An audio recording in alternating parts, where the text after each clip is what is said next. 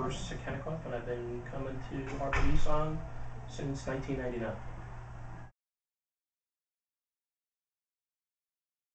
I have a 04 Murano and a 2009 Titan King Cab. Who is your service advisor? Ron?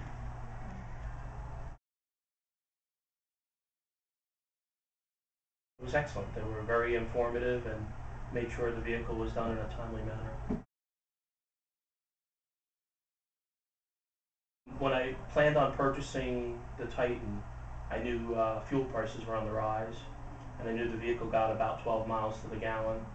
So I, I knew of the UpRev uh, for the street modes, and I had uh, asked about if they could adjust the fuel economy side of it, and they told me they could. So that piqued my interest. And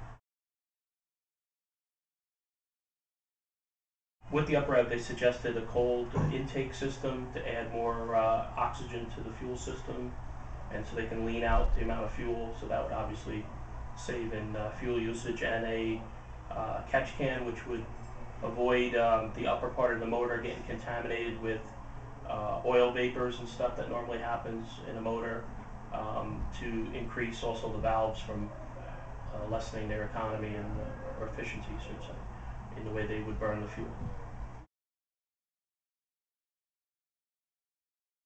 On the highway, I was getting about 11 miles to the gallon, and locally, maybe 12, 13, depending on the speed. So it was anywhere from 11 to 13 miles to the gallon. On local driving on Route 41, doing about 45 to 50 miles an hour, I'm getting 26 miles to the gallon.